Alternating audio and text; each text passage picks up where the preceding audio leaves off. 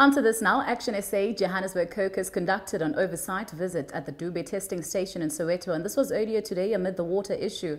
The station has been facing water challenges for about three years now, which sometimes affects the provision of services.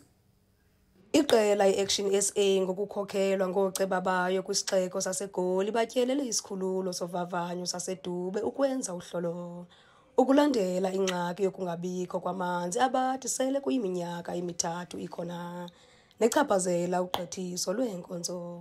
We did a tour, an oversight tour to satisfy ourselves and discovered that uh, this compound has been without water for some time now, uh, three years to be precise, which is very, very concerning. It's a working place. It's important that it, it does have water.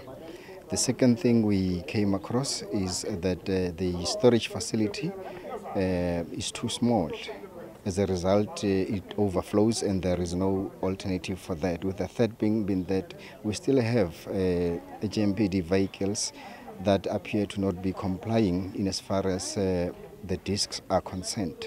embindini wale ngxaki ijamelene abahlali bayaqinisekiswa ngokuqhubeka befumana iinkonzo abazidingayo I just want to uh, uh, reassure you know those that we serve, those that has appointed us into council our communities, that even under the circumstances that the compound is functional, the services are there, they can still access the services while we sort out some of the challenges that the compound has.